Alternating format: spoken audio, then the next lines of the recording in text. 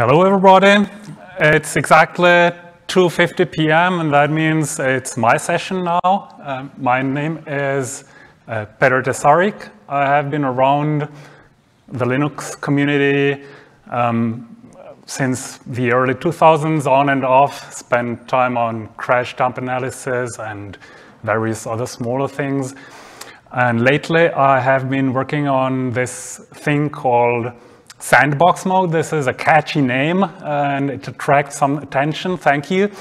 Um, the uh, like upfront, I know that sandbox is a loaded term, and this thing has nothing to do with sandboxing like um, namespaces and, and containers, whatever.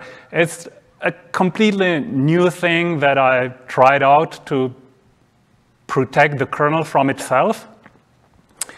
And this is original research uh, funded by Huawei Technologies. Thank you very much. Uh, I was, um, I was um, contracted as an external consultant, so I'm not here as an Huawei employee. I'm just, uh, but it was paid by Huawei, so yes, uh, they deserve the credits. And let's go to the matter. Um, okay, so I'm saying sandbox mode is a new mode, like a new process mode. Uh, until now, we had user mode, kernel mode, and I'm proposing sandbox mode. Why? If you look at the project goals, um, it starts with the premise that all software contains bug. Like, everything is buggy, it's just a matter of how much buggy it is. And the goal is to improve self-protection by reducing the attack surface. I'll get to that. I mean, the problem with kernel mode is if there is a memory safety bug, then the whole system might be compromised, and usually is. And I also wanted, I had a, second goal. Okay, if we, if we make a sandbox mode, um, or if we reduce the attack surface, can we do that um, uh, so that we can run kernel workload um, without interference from less privileged entities. Means like if, if, if for example, if uh, your kernel runs with the lockdown LSM, then it means um, UID 0 is not as privileged as the kernel. And that means if the, if, if the kernel is locked down, then user space or user mode is not an option.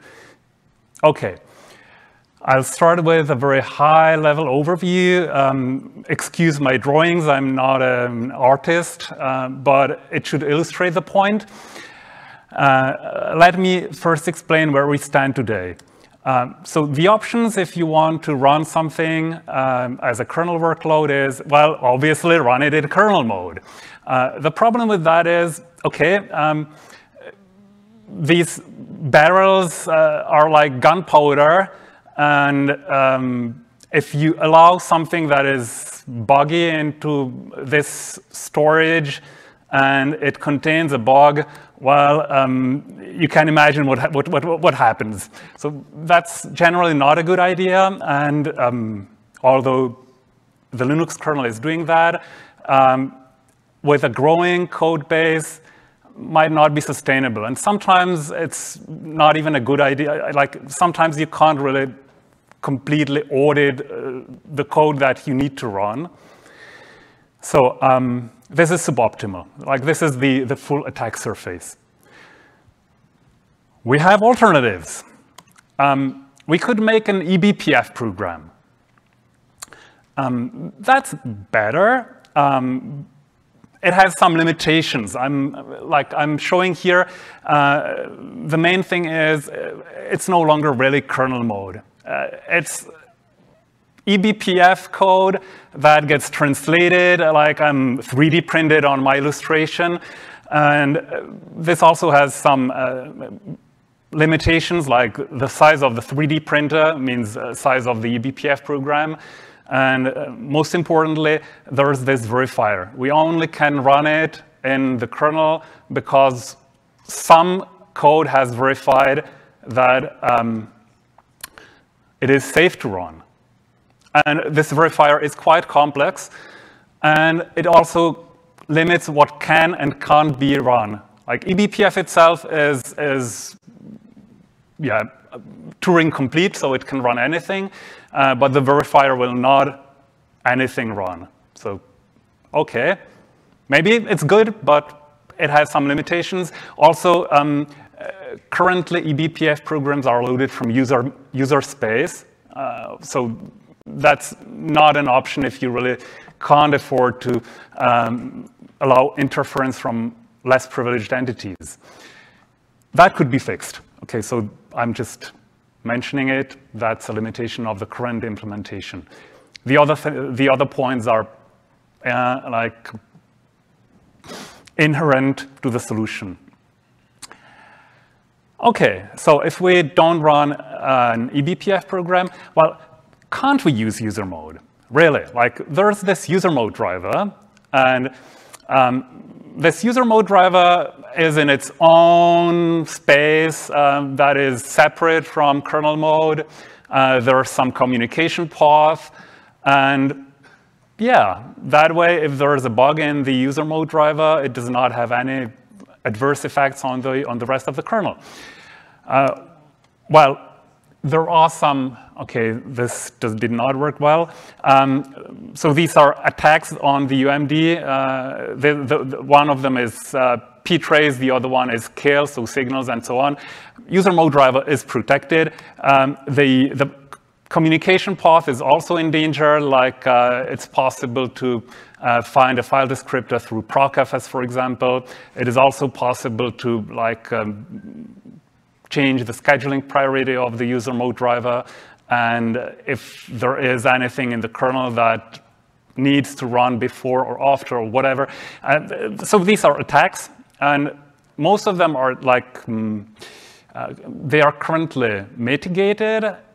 It's just that user mode was not designed to run kernel workload.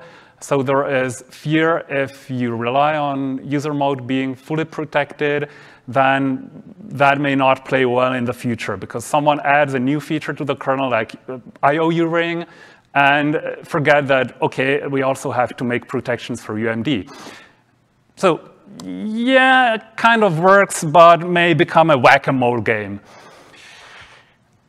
So how do I, what, what do I suppose, uh, what do I suggest? Um, I'm, I'm proposing something that's called sandbox mode. So you can see this is very much like the kernel mode, but there is a wall. Um, there's a wall between um, code that runs in the sandbox and the rest of the kernel, which means it's exactly as dangerous, but if the sandbox blows up, it, the, the rest of the kernel can continue. That's the basic idea. Um, now, you may ask, um, yeah, this is good, but if it is isolated, what can you do with a sandbox? um, right, so this is, okay, sorry, this is contained damage. Um, right, right now I'm not protecting sensitivity. So um, kernel data is read-only. So if, if, if, if, sandbox mode needs something uh, from the kernel, it can simply dereference a pointer. Um, kernel code is mapped into the sandbox. Uh, might not be a good idea, I'll get to that, but uh, yeah, by default it is. And some things can be called directly. So if you don't have any, any dependencies on pages that are not writable from, from the sandbox, which are behind the wall, so, so to say, um, then yeah, you can just call it directly. Um, if you need to modify something that is behind the wall, well, that will fail. And for example, kmalloc will fail. That, that's a big limitation. Um, it is also possible to share some data with the sandbox, like there is this shared page on the top of the wall. So that's something that the kernel can write into and sandbox code can write into. If you do that, keep in mind that it, it is a potential, like it, it it, um, it is a hole in the isolation, so to say, um, which might be acceptable sometimes, might not be acceptable other times. We'll get to that. Um, the thing is, if um, writing fails, then um, it is possible to intercept this and depending on the isolation strength and policy, either fix it up or abort. So first I'll get to the isolation strength. Um, the way I designed it, uh, there is weak isolation and strong isolation. Uh, weak isolation really does not do much. It provides the APIs, um, and it uses the guard pages that are implicitly um, provided by vmalloc, and copies data into the sandbox and out of the sandbox. So the thing is, if I go back to this slide, um, the sandbox starts with some data already. That, like these two barrels, and these were copied into the sandbox before it was started. And when the sandbox uh, terminates, you can, the, the kernel mode can copy out some data. So that's how it communicates. Um, yeah, uh, weak isolation is, does not provide much. There is also strong isolation. That's the main goal. And that will switch to its own address space while kernel, uh, while sandbox mode is uh, running. That requires changes in some arch dependent, uh, like in, in, in, the interrupt handlers and um, in possibly other code to make sure that it works. That was rejected, by the way. So at least I, I, wrote that for the x86 architecture, and that was rejected by the um, architecture maintainers. Uh, we'll see if the idea has some merit. I may try with a different architecture. So let me just uh, quickly present how sandbox mode works internally, now that we know what it should achieve. Uh, I'll start with a slide. That's how, how process modes work today. We have user mode, we have kernel mode. Um, user mode can use um, syscall APIs, it is unprivileged, um, the kernel mode is privileged, and internally there are kernel APIs. These are not really well documented, at least some of them are not. Um, kernel APIs means function calls inside the kernel. Um, how does this change with sandbox mode? Uh, okay, so we still have this uh, user mode, kernel mode, but we also have the sandbox mode. The sandbox mode is isolated, and it uses kernel APIs which means theoretically you can have sandbox mode for each process in the system. It's like a new mode, that's why I'm saying that's a new mode. Um, the essential features, how does it, like, okay, how does, if sandbox mode is isolated, how does it differ from user mode? Because user mode is also isolated, can't uh, write into the kernel data. Um, the big difference is sandbox mode is nested inside kernel mode. So if you look at user mode, user mode will just uh, call into kernel, and the kernel will lazily do as little as needed and return. Um, sandbox mode is started from kernel mode. Um, externally, it looks like it is still executing in kernel mode. Like um, if, you, if you make a process listing or for profiling, tracing, whatever, it looks like kernel mode is just um, internally executing something else on the CPU. It can access kernel data. I said that. Kernel data can be accessed. Um, and it prevents buffer overflows with byte granularity because we are copying in, copying out. So we are copying only as much as, as uh, the trusted kernel mode said the buffer size should be. Um, violations are detected with page granularity because it uses uh, page tables to achieve the isolation.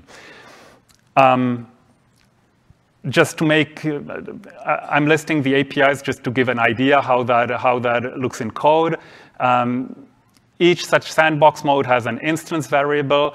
Uh, you initialize that, then you define the input and output buffers uh, with SBM copy in, copy out yeah, or copy in out if, you, if, if that's data that is copied in and then modified and then copied out.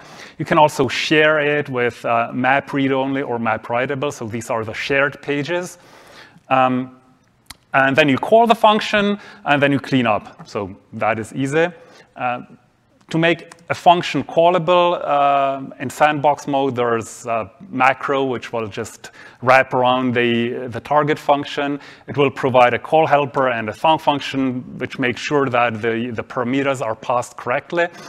And you just then call it say, SBM call with, with the parameters. Um, this is an example um, that was posted on the mailing list, uh, which converted AA unpack, the AppArmor unpack function, to run in a sandbox.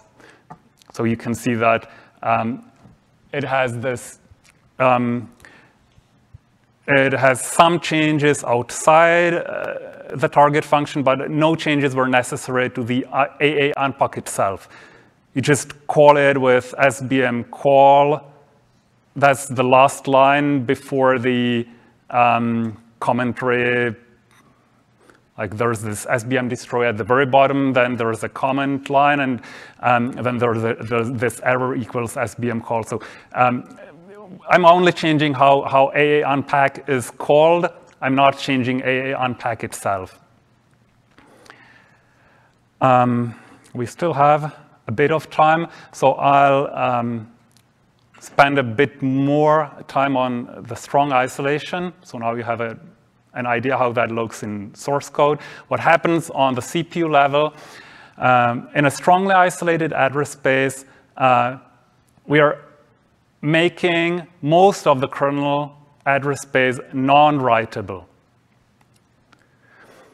And only the, the buffers that are, that are dedicated to sandbox mode are writable.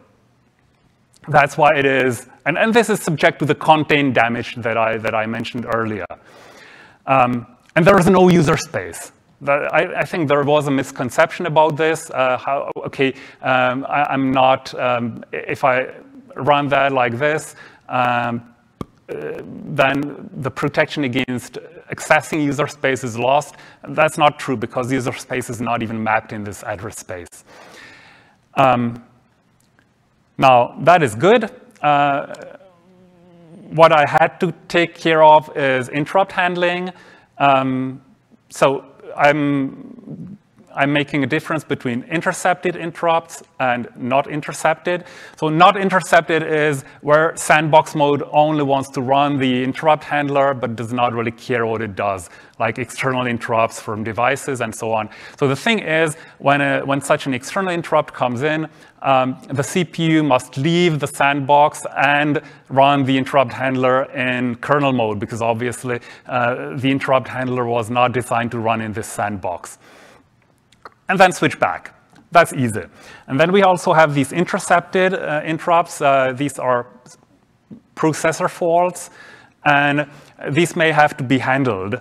Uh, so they start the same, the enter kernel mode, and if then they check policy if this kind of fault is expected, and in that case, it will fix up, fix up the, um, uh, the fault, but if it's unexpected, it will abort. So what I mean with a fix-up, what is a fix-up?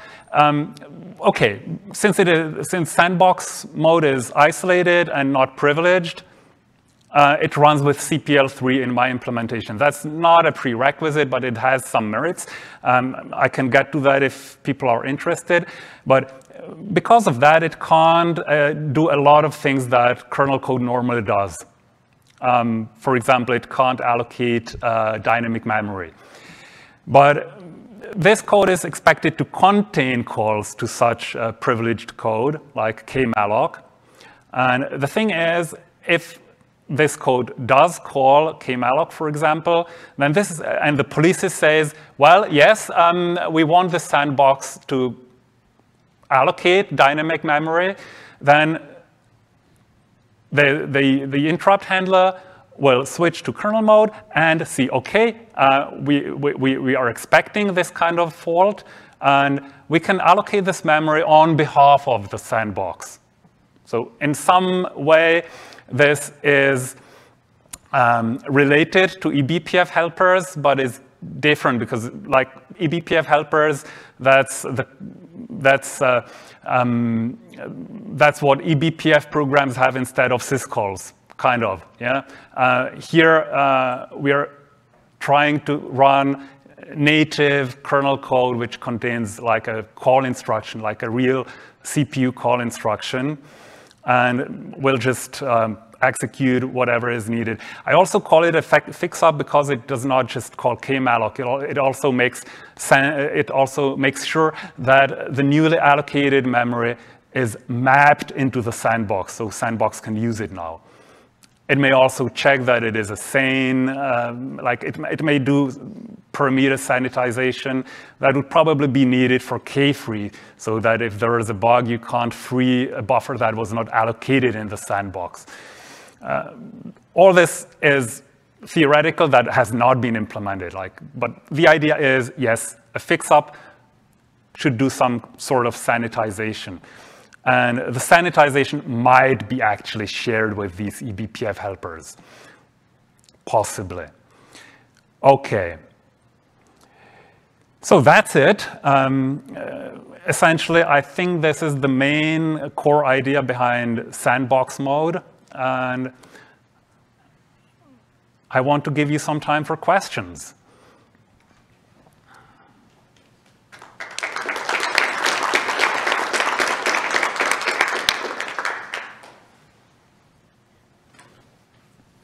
So how expensive is the setup and teardown of the sandboxes? How the How expensive, like okay. setting up the memory mapping, everything, how expensive is it to yeah. set one up and tear um, it down? So setting it up uh, may not be that expensive. Obviously, we have to allocate all the page table hierarchies. Um, uh, entering and exiting the sandbox is kind of like it can be expensive because obviously you have to make sure that um, um, that uh, the new mappings become active.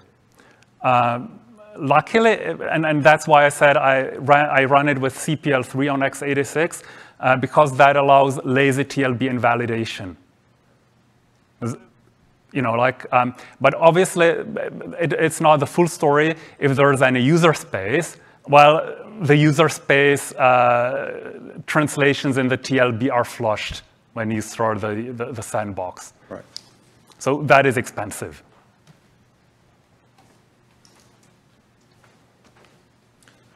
What use cases you had in mind when you wrote this code?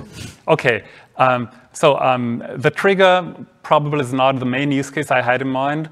Uh, okay, th there are a few. So first is um, if you have to run a binary-only module for any reason and you don't want to trust it, maybe you want to run it in a kind of sandbox. Um, and I know that binary-only modules are evil and you should not be using them, but still there are people who, does, who have to use them.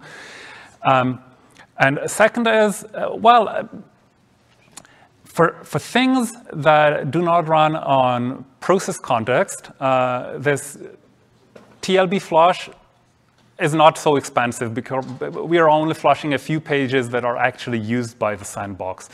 And so things that um, that make a complex thing like uh, parsing user-supplied data that might be crafted to trigger a bug uh, could easily run in, in sandbox mode. So this does not happen too often, like um, unpacking the AppArmor profile while you only, usually you only do that once. Yeah, so um, things like that, uh, parsing of user supply data. So uh, you're trying to act as a safety net between yeah. untrusted user mode and... That's it. Make okay. it harder to exploit a, an existing bug. Yeah. Thank you.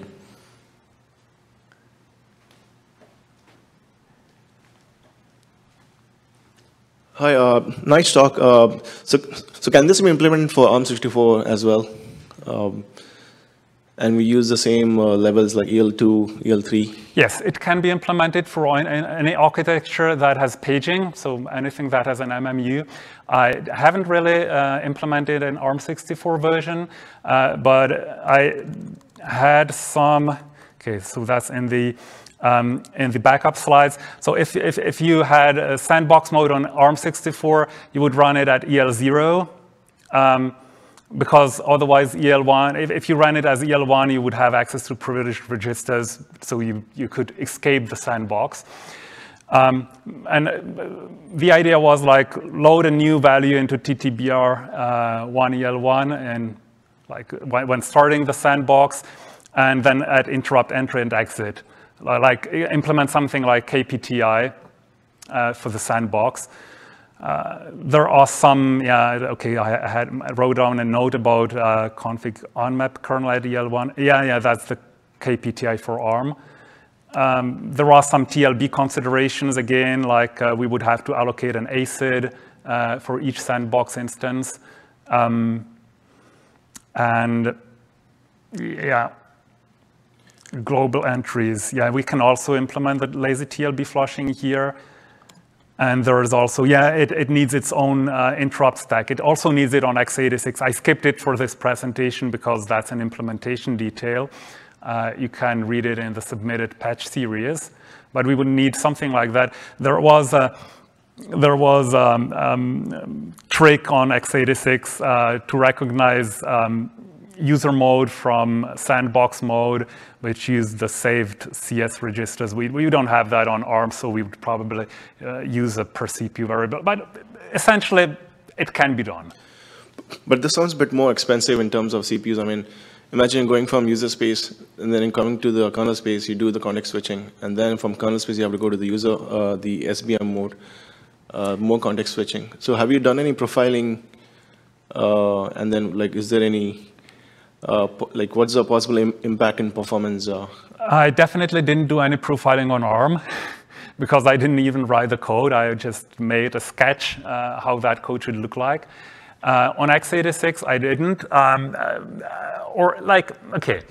Um, loading an, on, on, on x86, loading a new value into CR3 is a relatively expensive operation. Um, but uh, yeah, like uh, it, it's manageable.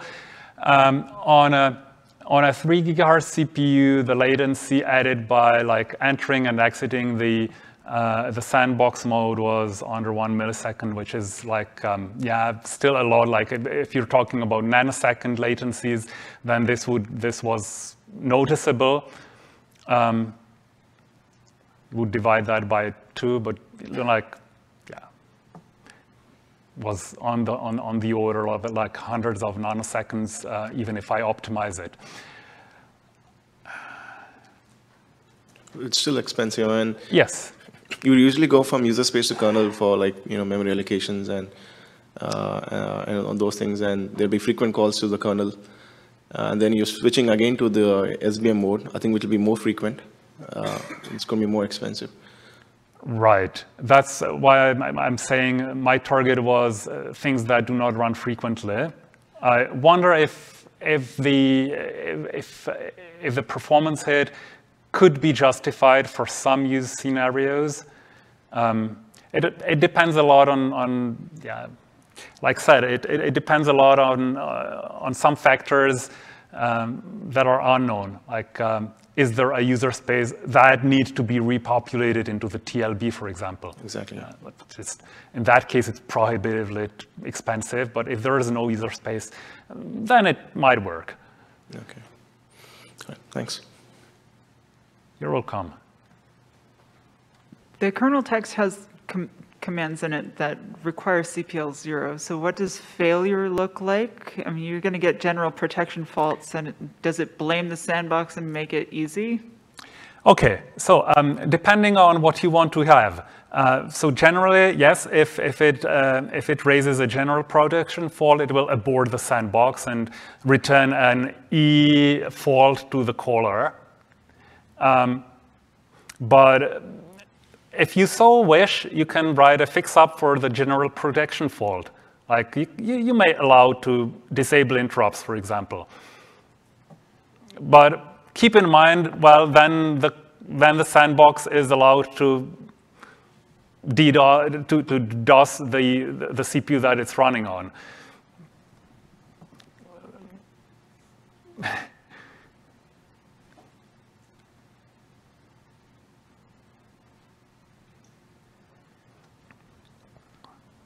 Okay? Any other questions?